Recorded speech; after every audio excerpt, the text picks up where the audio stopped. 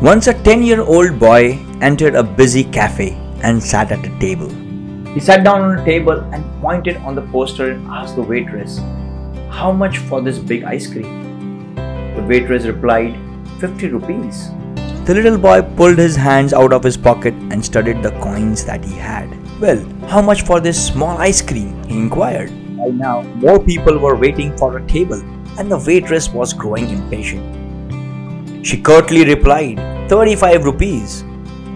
The little boy again counted his coins and said, I'll have this small ice cream. The boy finished the ice cream and left.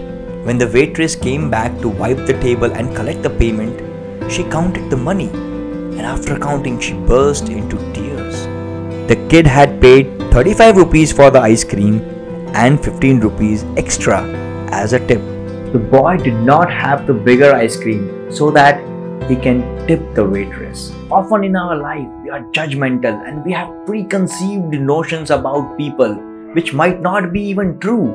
So let's not judge people without knowing their side of the story. Thank you.